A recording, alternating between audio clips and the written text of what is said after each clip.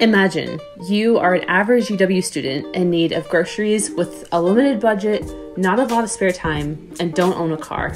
What are your options? You could walk to the nearest grocery store, but it's a bit out of your price range and it takes 40 minutes to walk there. Maybe you could take a bus out to Target or Pick and Save, but that also takes a lot of time. Instead, you could Uber to Woodman's or Aldi, but man, spending that much for a car ride seems a little steep. You could catch a ride with one of your friends who has a car, but you just texted them and they went shopping yesterday and won't be going until next week. How about grocery delivery?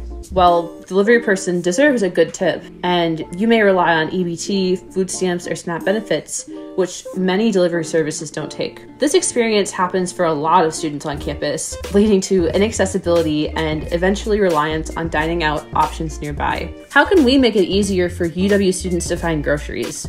Comment your thoughts below.